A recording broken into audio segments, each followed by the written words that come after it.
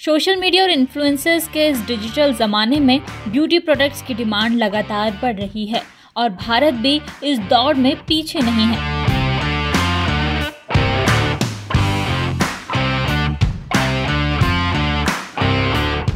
देश में कुछ साल से ब्यूटी एंड पर्सनल केयर यानी कि बीपीसी प्रोडक्ट्स की खपत लगातार बढ़ रही है।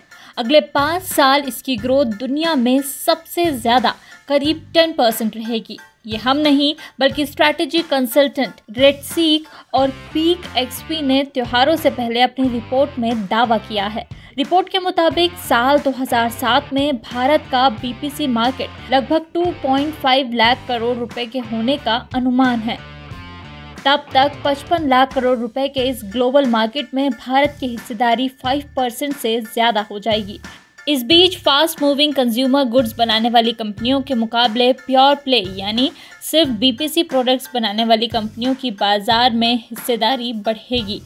साल 2022 में ये 33 परसेंट थी, जिसके साल 2027 में बढ़कर 42 परसेंट होने का अनुमान है। आइए आंकड़ों के ज़रिए समझते हैं, किस देश का ब्यूटी प्रोडक्ट्स मार्केट में कितना शेयर होगा। इस लिस्ट में 10 परसेंट के साथ सबसे आगे भारत होगा।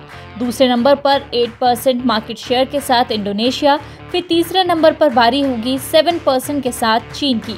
Fourth on the list is Brazil with 6 percent share और अमेरिका 5 परसेंट शेयर मतलब इस मामले में भारत की अमेरिका से दो गुनी और चीन से डेढ़ गुनी ग्रोथ होगी।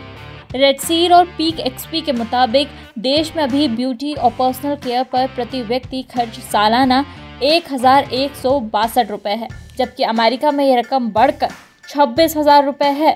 मतलब हम ब्यूटी प्रोडक्ट पर अमेरिका से 22 गुना कम खर्च करते हैं और इस लिहाज से ब्यूटी मार्केट में भारत के लिए आने वाले समय में कई बड़ी संभावनाएँ छिपी हो सकती हैं।